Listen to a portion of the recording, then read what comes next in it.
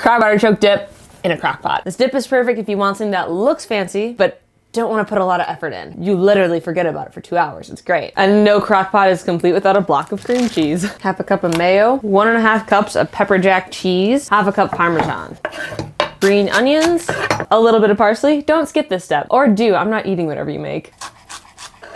Chop up your artichokes, a little Worcestershire, a little horseradish, a little bit of pepper, a little garlic powder, a little bit of salt, and your crab put a lid on it and forget about it for two hours. I think it's really weird in the Midwest. We have a lot of seafood at Christmas. My family always has a shrimp cocktail. People have oyster stew. We're inland states. So what are we doing with all this seafood?